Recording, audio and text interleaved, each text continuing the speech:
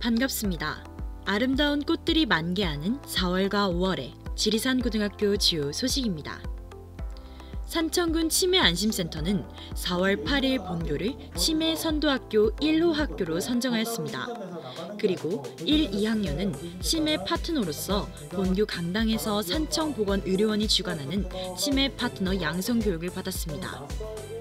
산청보건의료원의 이상욱 선생님께서는 치매에 걸리는 사람은 특별한 사람이 아니라 누구나 걸릴 수 있는 후천적 다발성 장애라고 말씀해 주시면서 치매는 우리 누구나 언제나의 문제이며 모두 함께 해결해 가야 할 문제라고 말씀해 주셨습니다. 이번 선도학교 지정과 치매 파트너 양성 교육으로 지리산 고등학교 학생들은 1인 가구 어르신 및 치매 어르신에게 보다 전문적인 자세로 봉사할 것으로 기대됩니다. 다음 소식입니다. 전교생은 4월 30일 인생을 살면서 어떻게 공부를 하면 좋을까? 라는 주제로 시행된 갈민수 회계사님의 특강을 들었습니다. 회계사님은 지금까지의 일생을 이야기해 주시면서 불행해지지 않기 위해서 공부를 하고 돈을 번다 라는 말씀과 함께 마냥 열심히만 하지 말고 자기 스타일대로 공부를 해라 라고 말씀해 주셨습니다. 바쁘신 와중에도 본교에 방문하셔서 좋은 말씀을 해주신 갈민수 회계사님께 감사드립니다. 다음 소식입니다.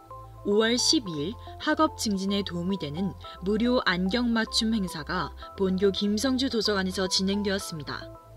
이날 학생들은 자신의 눈 건강을 확인하며 정확한 시력을 알고 그에 적절한 안경을 맞출 수 있었습니다. 바쁘신 와중에도 본교에 방문하셔서 무료 안경 맞춤 봉사를 해주신 이사간경점 관계자분들께 감사드립니다. 다음 소식입니다. 1, 2, 3학년 36명은 5월 14일부터 17일까지 2박 3일간의 지리산 종주를 다녀왔습니다. 특히 이번 종주에서 학생들은 맑고 화창한 날씨 덕에 지리산의 아름다운 풍경을 감상할 수 있었습니다. 종주를 하면서 학생들은 자신의 내면을 더욱 가꾸고 선후배 간의 친목을 다질 수 있었습니다.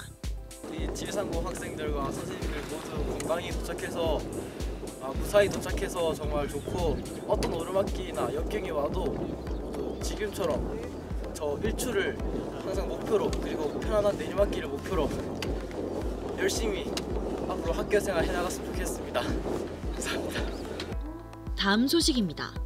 5월 20일 본교 강당에서 지리산 국립공원 관리공단 고졸 채용 설명회가 열렸습니다. 고졸 취업과 관련된 것뿐만 아니라 국립공원 공단에 있는 여러 분야의 업무들에 대해 알 수 있었던 시간이었습니다.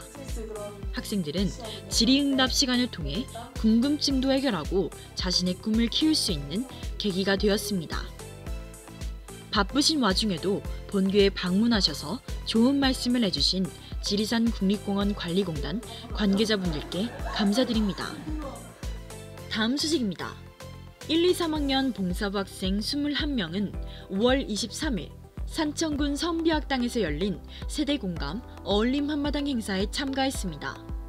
LH 한국토지주택공사와 단성면이 주최한 이번 행사에서 학생들은 연습회관 춤과 노래로 어르신들을 즐겁게 해드렸을 뿐만 아니라 어르신들과 1, 2 손자 손녀를 맺고 다양한 오락을 함께 즐겼습니다.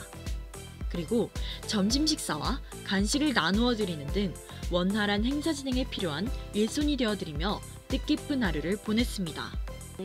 다음 소식입니다. 5월 29일 본교 운동장에서 체육대회가 열렸습니다.